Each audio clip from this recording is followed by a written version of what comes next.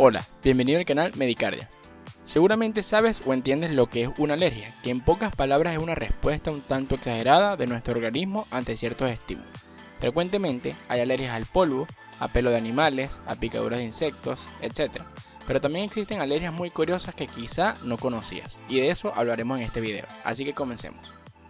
Alergia al agua. La urticaria es un tipo de alergia caracterizada por presencia de manchas y áreas de inflamación rosáceas, acompañados de un intenso picor. Tenemos, por ejemplo, urticaria relacionada al frío, pero hay una aún menos frecuente, que es la urticaria acuagénica. En palabras más sencillas, alergia al agua. Las personas que sufren severa alergia al agua podrían soportar solo breves momentos en la ducha, e incluso algunos necesitan tomar pastillas como antihistamínicos antes de bañarse. Obviamente, la piscina, la playa o cualquier actividad que involucre contacto con el agua significa una molestia para estas personas. Alergia al semen. Esta condición se conoce mejor como hipersensibilidad al semen, una alergia poco frecuente, pero que sin lugar a duda resulta todo un problema para quienes lo padecen. Se da en mayor proporción en mujeres, quienes sufren síntomas de escosor, picor en la zona vaginal, quemazón o inflamación al estar en contacto con el semen, lo que se asemeja mucho a una infección por hongos, por lo que suelen confundirse.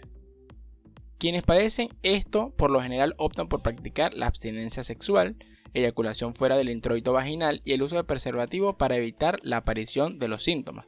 Evidentemente, resulta un problema el tema de la reproducción para estas personas, pero hay alternativas que brindan soluciones efectivas. Por ejemplo, los embarazos podrían lograrse mediante inseminación artificial intrauterina con espermatozoides lavados, en donde se usan directamente los espermatozoides desprovistos del líquido que los contiene. Curiosamente, el hombre también pudiera ser alérgico a su propio semen, aunque estos casos son aún menos frecuentes. Alergia a la presión.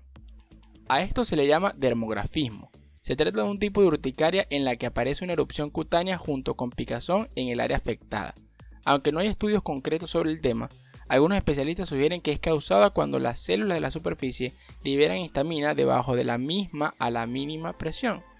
Algunas personas, como Ariana Page, que tiene esta condición, ha tenido la idea de hacer arte con ello. Crean escritos, figuras, diseños o lo que se les ocurra debido a que se quitan en un lapso de 30 minutos.